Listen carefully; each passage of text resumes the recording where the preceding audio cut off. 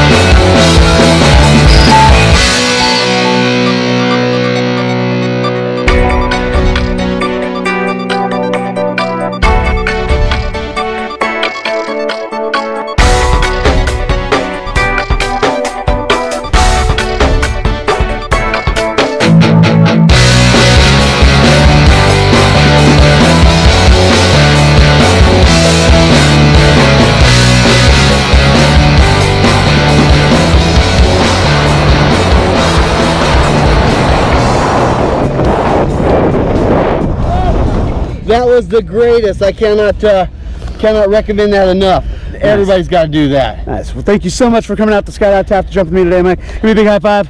Bam. Absolutely. We'll see you Thank next time, man.